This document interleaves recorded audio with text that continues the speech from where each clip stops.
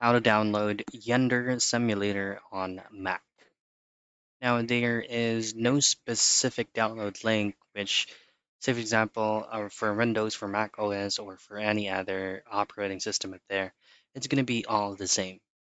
So all I have to do is just to pull up um, Safari on your MacBook or any working web browser. That what you want to do is just simply typing in Yandere Simulator.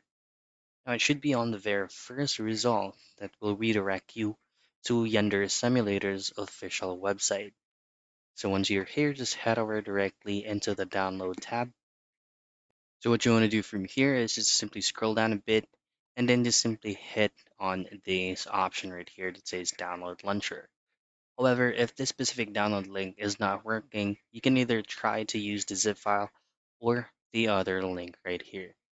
You already have the options or uh, the basic manual of controls if you're going to be using gamepad or if you're going to be using keyboard controls.